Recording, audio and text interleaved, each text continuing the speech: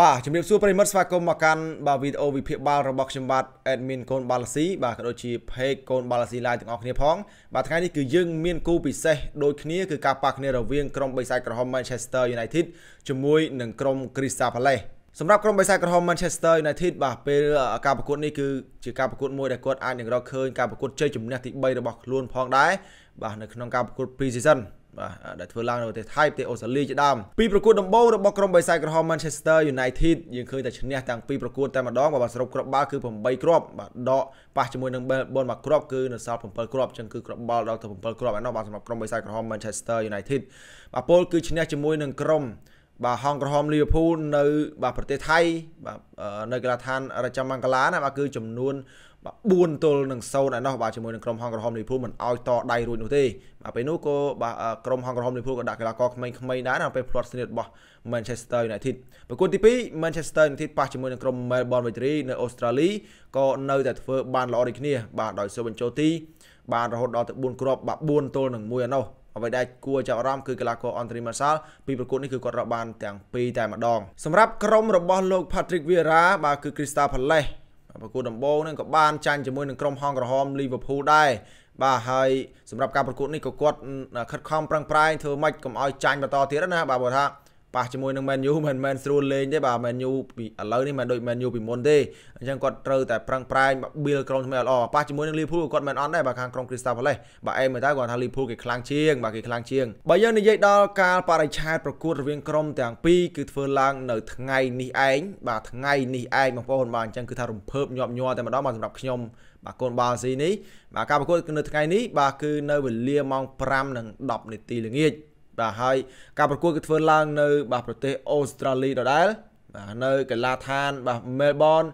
Cricket Background បាទរបស់ប្រទេសអូស្ត្រាលីអញ្ចឹងសម្រាប់ការប្រកួតនេះគឺខ្ញុំនឹងធ្វើការផ្សាយបន្តផ្ទាល់នៅលើ page កូនបាល់ស៊ី live បាទដូចដែលខ្ញុំបានដាក់ឲ្យបងប្អូនបានឃើញអញ្ចឹងបាទគឺ page ហ្នឹងបងប្អូនអាចចូលទៅបាទ follow បានដើម្បីតាមដានទស្សនាការផ្សាយបន្តផ្ទាល់ការប្រកួតបាល់ទាត់សំខាន់ៗផងដែរឥឡូវយើងចូលដល់ព័ត៌មានតាក់ទងជាមួយនឹងកីឡាកររបស់ក្រុមទាំងពីរវិញម្ដងសម្រាប់ បាទក្រុមបិសាចក្រហម Manchester United ការប៉ះជាមួយនឹងក្រុម Melbourne Victory បាទយើងឃើញថាកីឡាករ David De Gea ក៏មិនបានចូលលេងដែរដោយដាក់កីឡាករបាទ Tom Hinton ជាអ្នកចាំទីជំនួសបាទហើយកីឡាករ Rafael Varane ក៏មិនមានវត្តមានដែរសម្រាប់ការប៉ះជាមួយនឹងក្រុម Melbourne Victory អញ្ចឹងសម្រាប់គំនិតរបស់ខ្ញុំខ្ញុំគិតថាបាទការប្រកួតជាមួយនឹងក្រុម Crystal Palace នេះបាទ David De Gea ហើយនិងកីឡាករ Rafael Varane ច្បាស់ណាស់នឹងមានវត្តមានបាទក្នុងជម្រើសទី1ណាបាទ កីឡាករដូចជា Marco Rashford ដែលជាអ្នករកគ្រាប់បាល់ឲ្យបាទក្រុម Manchester United តទល់ជាមួយនឹងក្រុម Melbourne Victory បាទគួរតែមានវត្តមានដូចគ្នានៅក្នុងការប្រកួតនេះហើយកីឡាករ Tyrell Malaysia បាទអាចនឹងពិបាកបន្តិចក្នុងជម្រើស11អ្នកដំបូងដោយសារការប៉ះជាមួយ Melbourne ក៏គាត់មិនបានជាប់11អ្នកដំបូងដែរហើយគាត់នៅតែជាកីឡាករមួយដែលចំណូលថ្មីនៅឡើយទេអញ្ចឹង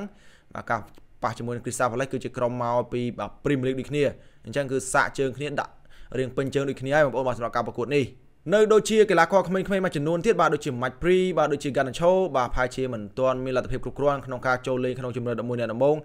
បាទក្រមការដឹកនាំរបស់លោករាជទាំងហាក់ដល់ឡើយទេដោយសារគាត់នៅក្មេងនៅឡើយទេចឹងប្រហែលជាអាចចូលនៅតង់ទី2បាទសម្រាប់ពួកគាត់ទាំងពីរនាក់ចំណែកឯក្រុមរបស់លោក Patrick Vieira វិញបាទគឺ Crystal Palace ខ្ញុំគិតថាបាទជំរើសរបស់គាត់នៅតែមិនប្រែប្រួលទេការប៉ះជាមួយនឹងក្រុម Hong Kong Liverpool គាត់នឹងយកមកដាក់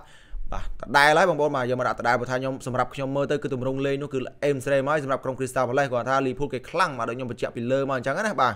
ចូលដល់ប្រវត្តិប៉ះគ្នាវិញបាទប្រវត្តិប៉ះគ្នារវាងក្រុមទាំងពីរយើងឃើញថា Manchester United បាទយកឈ្នះរហូតដល់ទៅ39ដងស្មើ12ដងនិង Crystal Palace ឈ្នះចំនួន10ដងនេះគឺជាប្រវត្តិប៉ះគ្នារបស់ក្រុមទាំងពីរណាបងប្អូនបាទឥឡូវយើងចូលដល់ការវិភាគគ្រាប់បាល់តែម្ដងអញ្ចឹងបងប្អូនដឹងហើយថាក្រមការដឹកនាំរបស់លោក Erik ten Hag បាទទោះបីជាការប្រកួតនេះវាវាថ្មីសម្រាប់លោក Erik ten Hag ក៏ដោយប៉ុន្តែគាត់ពិតជាធ្វើបានល្អមែនទែនដោយជួយឲ្យក្រុមបិសាចក្រហម Manchester United យកឈ្នះរហូតដល់ទៅ2ប្រកួតជាប់ជាប់គ្នាតែម្ដងនៅក្នុងការប្រកួត Pre-season ហើយការប្រកួតនេះទៀតសោតក៏ខ្ញុំនៅតែគិតថាក្រុមបិសាចក្រហម Manchester United យកឈ្នះទៅលើក្រុម Crystal Palace ផងដែរហើយលទ្ធផលដែលខ្ញុំទស្សទាយនោះគឺ2ទល់នឹង0បាទបងប្អូនអញ្ចឹងសម្រាប់បងប្អូនដែលចង់ទស្សន៍ទាយនៅក្នុងបាទ page កូនបាល់ស៊ី live ក៏ដូចជា admin កូនបាល់ស៊ីបងប្អូនអាចធ្វើការ comment នៅក្នុងវីដេអូនេះបានថាតើបាទក្រុមណានឹងទទួលបានជ័យជំនះហើយកុំភ្លេចដាក់លទ្ធផលផងណាបងប្អូនបាទ ហ្នឹងហើយអញ្ចឹងគឺមានតែប៉ុណ្្នេះទេបងប្អូនបាទកុំភ្លេចរងចាំទស្សនាការប្រកួតបាល់ទាត់នៅល្ងាចទាំងអស់គ្នានៅលើ page កូនបាល់ស៊ី live បាទជម្រាបលាបងប្អូន